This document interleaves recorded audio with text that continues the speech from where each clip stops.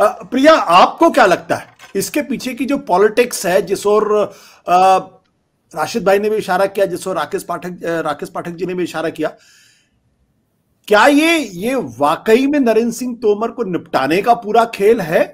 क्या आपको लगता है? और ये कहीं से बहुत सुनियोजित तरीके से प्रायोजित किया गया, ठीक चुनाव के पहले?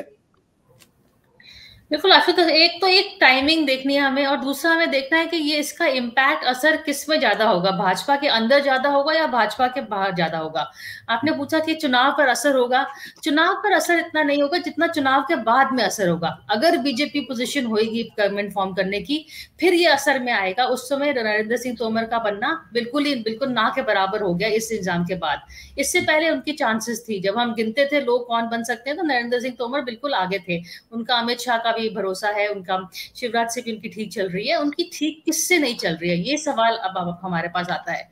और हमको वो देखना है कि वो कौन से एरिया से है? मुरैना से लड़ रहे हैं, उनकी कॉन्स्टिट्यूंसी है, वो ग्वालियर चंबल एरिया में है।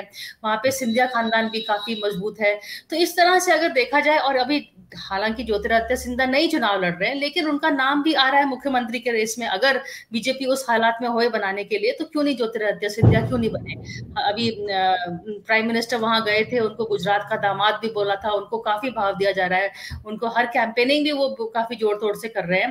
पूरा ग्वालियर चंबल एरिया का उन्होंने संभाला है एरिया का कंट्रोल क्योंकि ये भी बात चल रही है कि अगर जैसे कि अभी हमें खबरें आ रही हैं ओपिनियन पोल्स भी यही कह रहे हैं कि शायद बीजेपी अपना ग्वालियर चंबल एरिया में मतलब आठ नौ दस भी नहीं सीट बचा पाएगी। तो अभी मेरे ख्याल छब्बीस सीट है अभी वहाँ पे कितनी है उनकी तो वहाँ पर अगर नहीं थर्टी फोर है Priya. Thirty four. Total but BJP की कितनी है? पिछली बार 2018 में 26 सीटें कांग्रेस जीती थी। बाई इलेक्शन में भी सबसे सबसे ज़्यादा ग्वालियर चंबल में ही बीजेपी हारी थी बाई इलेक्शन में। हाँ तो इसी सिंधिया पे तो एक तो बसपा और उसकी थी। जी एक बसपा भिंड। ठीक हाँ, तो बिगर पॉइंट है कि वहाँ सिंधिया का इलाका था उनके जी, सीटें जीतना भी सिंधिया के ऊपर गया था जब कांग्रेस में जीती थी हारे थे तभी भी सिंधिया इम्पैक्ट सिंधिया इफ़ेक्ट होता है। तो अगर इस बारी वो ना जीत पाए तो फिर कह सकते हैं कि तोमर की वजह से हम हार गए थे ये नहीं कि मैं सिंधिया की वजह से हारे थे। तो एक उनके पास एक बहाना भी मिल जाता है इसको करने के लिए। और हमने अगर सचमुच में अगर इनको करप्शन का मुद्दा उठाना था तो फिर अगर दुबई के नागरिक से बात करने में नेशनल सिक्योरिटी का इस मुद्दा हो जाता है तो फिर कनाडा के नागरिक से बात करने में क्यों नहीं नेशनल सिक्योरिटी का मुद्दा आता है? सो so क्लियरली ये मामला इनसाइड बीजेपी का ही है और बीजेपी को ही संभालना है कि कहाँ पे किसने वीडियो वायरल किया है, क्यों किसका ज़्यादा लाभ होता है?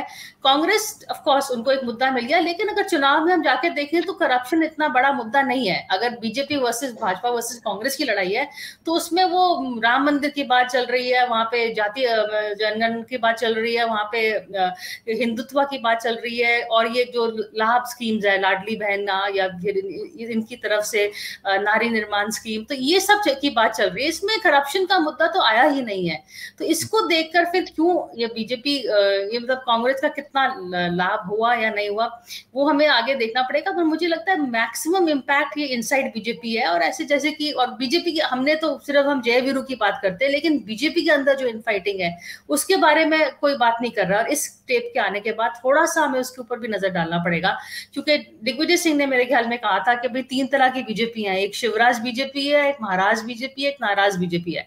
तो बीजेपी इतनी गुट में बची हुई है कि यू नो कि एक दूसरे के पीछे तो इस स्टेप का आना मुझे लगता है बीजेपी पे ज़्यादा फोकस होना चाहिए जाने की कि कांग्रेस में के ऊपर कहाँ से ये टेप आया है कि कौन इम्पैक्ट करेगा ये बीजेपी के अंदर की बात है मुझे लगता है। सत्य हिंदी का ऐप डाउनलोड करें गूगल प्ले स्टोर पर।